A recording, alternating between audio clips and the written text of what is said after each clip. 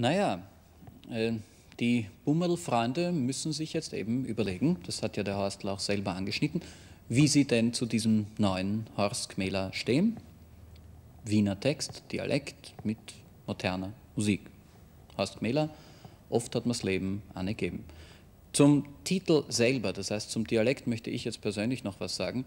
Ähm, ich weiß, es haben viele kluge Leute sehr viele kluge Dinge zum Wiener Dialekt und zum Dialekt überhaupt gesagt, aber ich kann mir sie oft nicht ersparen, meinen Krähen dazuzugeben und ich möchte auch mal was dazu sagen. Ähm, ich finde, dass der Dialekt, ganz egal, ob es jetzt der Wiener Dialekt ist, der Zürcher Dialekt oder ein österreichischer Dialekt, dass man im Dialekt Dinge sagen kann, die man im Hochdeutschen einfach nicht so rausbringt, ist wohl das Wort dafür, äh, wenn man die hochdeutsche Sprache nicht einfach gewohnt ist. Ich kann äh, schwerer sagen, ich habe viele Schicksalsschläge erlitten, als ich als Wiener jetzt sagen kann, oft hat man das Leben angegeben. Das trifft exakt den Kern der Sache. Das zum Dialekt. Es ist ja auch leicht, es gibt da zwei ungeheuer schwere Sätze im Theater. Der eine ist mit Ehrlichkeit zu sagen, ich liebe dich, der andere ist ganz ehrlich zu sagen, ich glaube an Gott. Das sind zwei echt schwere Sätze.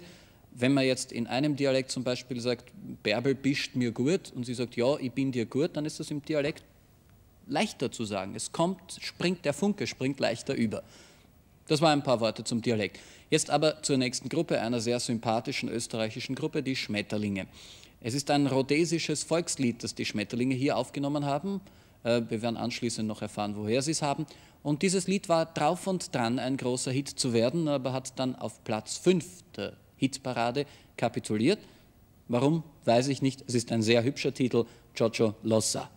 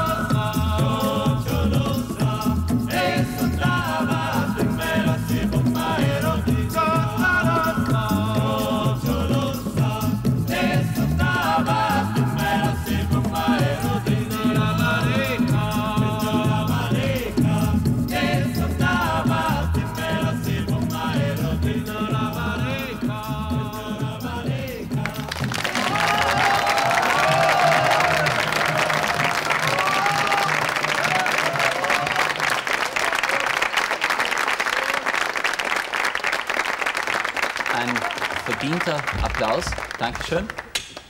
Danke. Vielen Dank. Das ist übrigens der Shirley, einer aus der Band, der mir jetzt nur kurz einmal sagen soll, äh, woher kommt dieses Lied, Chocholosa? Das ist ein äh, rhodesisches Lied, das die Arbeiter beim Eisenbahnbau gesungen haben. Und der Text heißt so viel wie äh, Dampfe durch Rhodesien, Eisenbahn. Woher habt ihr dieses Lied? Dieses Lied haben wir von einer Platte runtergehört, Von wem? von Pete Seeger. Der, der ja immer wieder sammelt in der ganzen Ja, Welt, der ist- herumreist. Und äh, wieso hat euch gerade dieses Lied, das euch ja beinahe den ganz großen Treffer in Europa gebracht hätte, wieso hat euch gerade dieses Lied so besonders gefallen? Äh, wir hatten einerseits eine schöne Vorlage, nämlich das Lied hat uns gefallen, es war einfach und wir haben aber auch viele Arrangementmöglichkeiten gehabt. Also die ganzen Rhythmen, die Trommelrhythmen auf der Bongo und auf, der, auf der großen Trommel, das sind alles, äh, die haben wir selber gemacht.